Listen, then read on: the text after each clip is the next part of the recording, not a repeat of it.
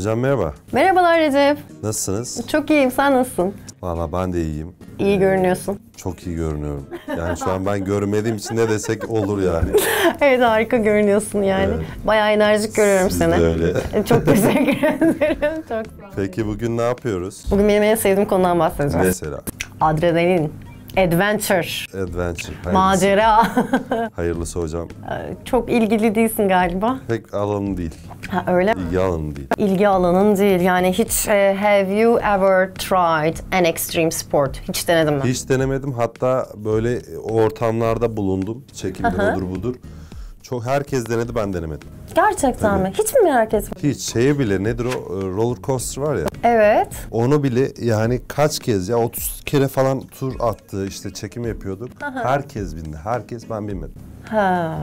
Çünkü ne gerek var? Ne gerek var? Evet Beyin bedava. Bedavaya taşıyorum. ufakken böyle şeylere gidiyordum. Luna Parklara. Orada böyle tepeye çıkan aletler. Tamam o trenler falan. Aynen orada mesela benim temasım kesiliyor koltukla tepedeyken. Tamam, ben süper. onu sevmiyorum. Ay çok güzel. Yok, olmaz. işte o adre- adrenalin. O zaman sen adrenalin tutkunu değilsin. Yok hiç değilim kesinlikle. Hiç değilsin. Yok ben seviyorum ya. Yani bayağı keyif alıyorum o Peki adrenalin. neyle o adrenaline ulaşıyoruz? Neyle? Şöyle e, senden daha güçlü bir şey seni kontrol ediyor. Bütün kendini, e, kendini ona teslim ediyorsun. O his mua- muazzam bir şey. Hayırlısı hocam. Hayırlısı. yani extreme sports. Mesela Yani var mı bildiğin? spor kendisi zaten ekstrem benim için. o yüzden hani bildiğim bütün sporları öyleymiş gibi sanıyorum. Öyle mi? Benim mesela hmm, kitesurfing. Duydum. Duydum. Ben yaptım. Hala da yapıyorum ve inanılmaz keyifli bir şey kitesurfing. Nasıl bir şey? Nasıl bir şey? Uçurtma sörfü diye geçiyor. Ee, büyük bir uçurtma beline bağlı. Ee, uçurtmayı kontrol ederken aynı zamanda sörf yapıyorsun. Uçurtmayı vurmasınlar. Var. Bunun için mi acaba? Vurmasınlar yoksa gidemem yani. Normal sörf değil de kitesurf işte e, daha daha zorlaştırıyor. Ekstrem yapan kısmı o zaten. Ama muazzam keyifli bir şey yani. evet hocam tebrikler. Neyse konuya geçelim. Ee, motor racing. Ee, bu arada ben motosiklet kullandım. Aa, Ee, motorumu şimdi sattım ama tekrar alacağım. Belki ona bir minik ilgim olabilir. aa olabilir. Hızı seviyor musun? Kontrolü. Yani normalde hızı yanlış bulurum. Ee, ve Fazlası fakat yanlış. ve fakat motosiklet öyle bir şey değil. Yani üstüne binince o kişinin artık kendine bağlı. Hmm, anladım. Bazen çünkü hız hayatınızı kurtarıyor. O yüzden kullanıyorum. Doğru, doğru diyorsun. Yani hani kontrollü hız hayat kurtarır diyerekten mesajımızı verelim. Ee, skydiving mesela hava sporlarını yapamıyorum. Yani atlıyorlar ya bir helik şeyden uçaktan Dubai'den falan falan. çok yaparlar. Aa, ben onu yapamıyorum. Hava sporları yok mümkün değil. Yükseklik korkum var Benim benim. Mümkün değil yapamam. Bungee jumping falan, surfing. hiç. Caving, O ne demek? caving, mağaracılık. Ya onda da yarasa falan çıkar. yani böcektir, yarasa. Böcektir falan. Ya ben de kapalı alan sevmiyorum. İlla bir e, ufuk olacak, bir doğada olacağım ama yani kapalı alana girip de tırmanacağım falan mümkün değil. Climbing denedim? O da yani çocukken yapıyordum öyle şeyler. Ee, Her çocuk gibi. Gördüm tepeye tırmanıyordum ama hiç ilgimi çekmiyor. Mesela bir önceki videomuzda İran dedik ya. İran'da e, dağcı çok var. Öyle mi? Hatta böyle şey yani neden bilmiyorum orada kimle tanışsam dağcılık, o tırmanış yapıyor. Aa, Öyle bir yani kültür oluşmuş mesela orada. Bizde Türkiye'de yok benim bildiğim. Yani çok fazla yok. Çok açıkçası fazla yapıldığını ben de duymadım. İşte hava sporları daha çok işte e, Fethiye tarafında falan Evet. yapılıyor. Rafting Evet. işte e, Rize tarafında falan yapılıyordu galiba. E, Ama hani su sporlarının için çok elverişli, rüzgar sporları, su sporları için artık e, gerçekten çok iyi spotlar var, noktalar var Türkiye'de. Bu yönden çok şanslıyız. E, So, you prefer safer sports? I prefer sleep. Sleeping. Do you prefer team or individual sport? Bu arada normalde Basketbol team- diyordun team aslında. olanlarını, yani takım oyunlarını daha çok seviyorum. Aa evet, team sports. Mesela fitness'a gitmektense tenis oynamayı öğrenmeyi daha tercih ederim. Ha, I tenis. Bera- uh, you prefer playing tennis. Evet, Güzel. kesinlikle. Prefer dedik. Prefer neydi? Hatırlayalım. etmek. Tercih etmek. Mesela I prefer playing tennis Evet. to to buna tercih ediyorum. Yönelmeymiş gibi düşün. Tekrar edeyim. I prefer playing tennis to running. running tamam. gibi. Ne yaptık? İşte ink takısı Koşmayı koyduk. tercih ediyorum. E, Aynen öyle. Tenis oynamayı ilk söylediğini tercih ediyorsun demektir. İşte tenis oynamayı neye? To. Koşmaya tercih ediyorum. Bunun bir de e, benzer kullanımı var. Daha doğrusu e, tercihlerimizi ifade ederken kullandığımız bir tane daha kalıbımız var. O da would rather. Would rather. Would rather. Aynen öyle. Ama bunda yapı biraz değişiyor. I would rather play tennis than Den evet. than run. Ben o would rather'ı kullanmadan deni kullanıyordum hep. Tu- şey prefer'le kullanıyordun. Orada biraz karışıklık olmuş. Yani şöyle ikisinin arasında fark var. Mesela I prefer playing diyorsun. Eylemin sonuna ne yapıyorsun? Ink takısı koyup ve to'la bağlıyorsun. Would rather'da ne yapıyorsun? I would rather play. Hiçbir takı koymuyorsun ve than'le bağlıyorsun. Tamam tercih ettiğin bir şeyi hem prefer'le hem de would rather'la ifade et bakalım. Hadi bakalım. Hadi bakalım. I prefer e, basketball to football. Tamam isimle ifade ettim. Bunu Tamam, bu oynamayla ifade et. Fiille. Hani ink takısı koyuyorduk ya fiille.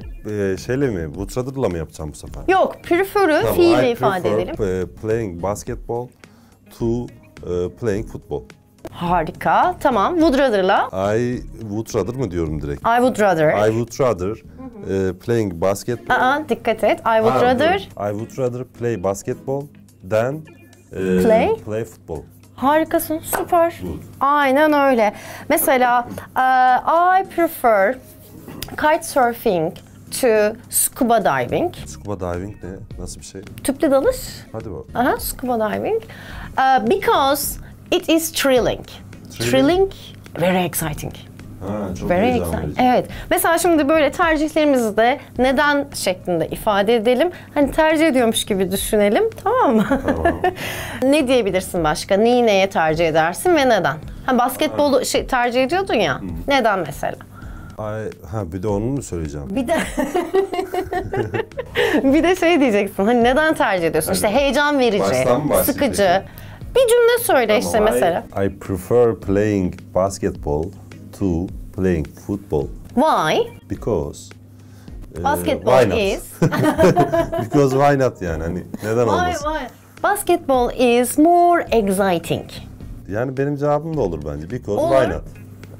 Hayatta her şeyin sebebi olmaması lazım. Doğru diyorsun. Şimdi why not dersen ben devam edemeyeceğim. Kitleniyorum hani bağlayayım diyorum. Let's continue why not diye bağlayayım ben. Mesela işte ter- ne dedim? More exciting dedim. Aa, more exciting. Daha Daha güzel. Yani ne yaptım orada bir kıyaslama yaparken More e, bir more getirdim. Exciting dedim. Mesela Recep is taller than me. Taller dedim. Evet. Ne yaptım burada? Bir kıyaslama Benden de, yaptım. evet. Benden daha uzun. Bir tane sıfat koydum. Sıfatımı tek nefeste okuyorsam sonuna er takısı koydum ve Nasıl? denle bağladım. nasıl yani? Tall, tek nefeste okudum. Short, tek nefes. Ya böyle yavaş nefes alan biri ise?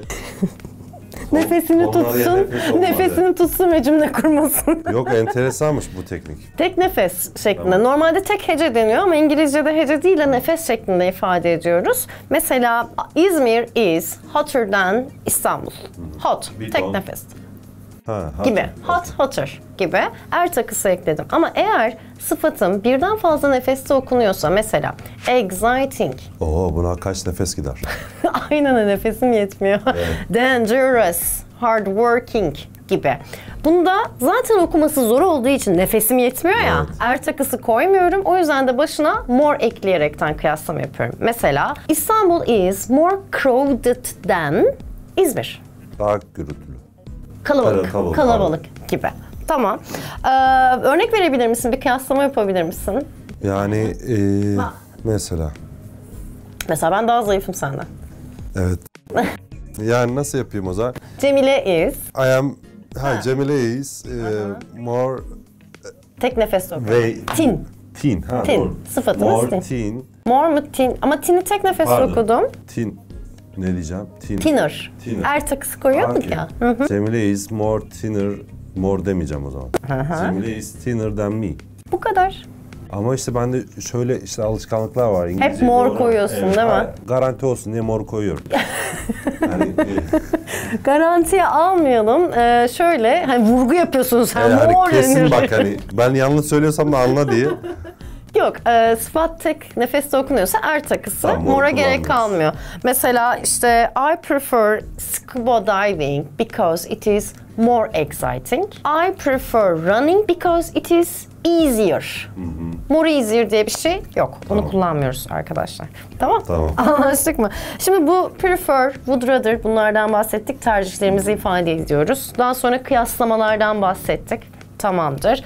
Ee, bazı sıfatlar kullandım ben. Mesela tasvir edebilmek için bazı sıfatlarımız var. Ne var? Ee, thrilling dedim. Thrilling. Exciting ile aynıydı. Ne Thrilling, demek tam kelime anlamı? heyecan verici. Exciting, tamam. Easy, difficult. Kolay, Kolay, zor. İşte disappointing. Hayal kırıklığı. Aynen hayal kırıklığı verici gibi. Hayal kırıklığına uğradık. Neyse. gibi bir şey. Aa, fascinating. Acaba. Büyüleyici. Fascinating. Fascinating. Fascinating. Fascinating. Hani fantezi Evet, o. gibi oradan gelsin aklına. Amusing, funny. Eş anlamlı. Amusing. Amusing. Aha. Eğlenceli. Eğlenceli, funny, komik. Aynen. Interesting, boring. İlgi çekici, sıkıcı. Interested vardı bir de ilgili olmak. Ne alıyordu? Interesting. Harika hatırlıyorsun süper. Risky var bir de challenging var. Aynen. Riskli. Zorlayıcı, Zorlayıcı. meydan okuyucu. Hani challenge accepted diyoruz ya oradan geliyor. Tamam. Şimdi bunlarla ilgili bir cümle kuralım. Mesela I tried caving in Antalya uh, but I didn't enjoy. Eğlenmedim. Eğlenmedim. It was disappointing. Hayal kırıklığıydı. Aynen öyle bunun gibi. Sen var mı hani böyle bir şey de illa hani spor değil Hayal tamam. kırıklığı olarak. Yok hayır genel olarak. Yoksa var. Hayal kırıklığı olarak. Ne var? Hayata gelmek. Baştan yani. Kestik, kestik. ya yok mesela şey gibi düşün. İlla spor demeyelim de mesela ha seyahat ettiğin bir ülke İran falan diyordun ya. Bununla ilgili mesela güzel bir sıfat kullanabilirsin. Tabii e, ne diyebilirim? Çok güzel. İngilizce Exciting. It was exciting. exciting. Ha, when did you go there? E, last e, May. Last May and uh, how did you go there? E, with, of course with airplane. By airplane. By.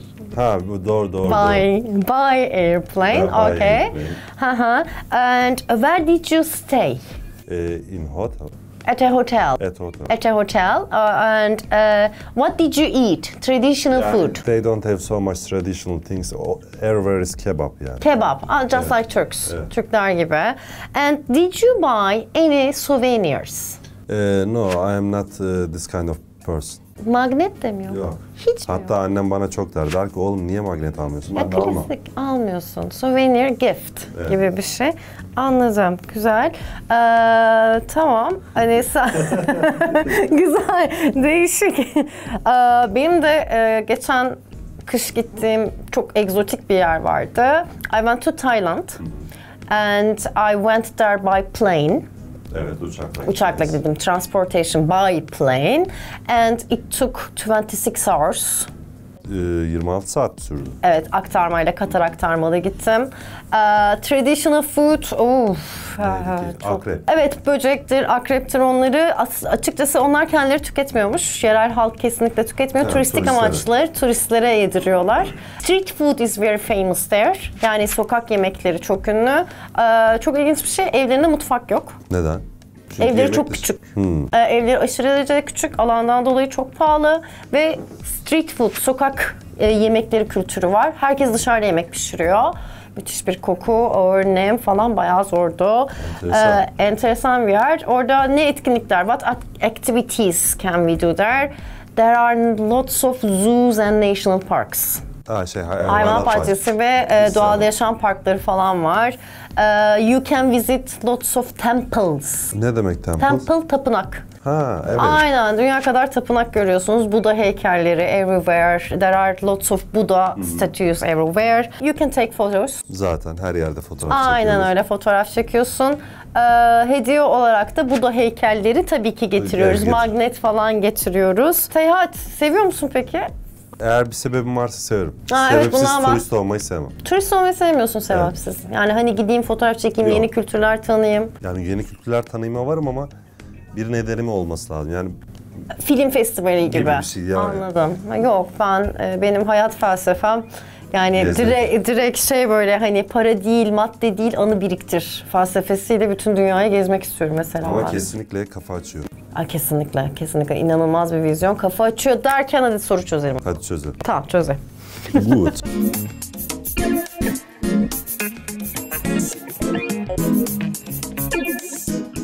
Evet yine konuşma balonlarımız var. Bunlarla ilgili bakalım ne diyorlarmış. Who does not talk about a water sport? En sevdiğim spordur. Su sporlar hakkında kim konuşmuyor? Konuşmuyor. Kim bahsetmiyor? Bakalım. Cemile. Ah, I tried kite surfing last year. It was fascinating. Hmm, Fascinating, e, inanılmaz. harika, gibi. muhteşem. Kite surfing dediğine göre E, sizin spor. aynen Su öyle. sporu. Water sport.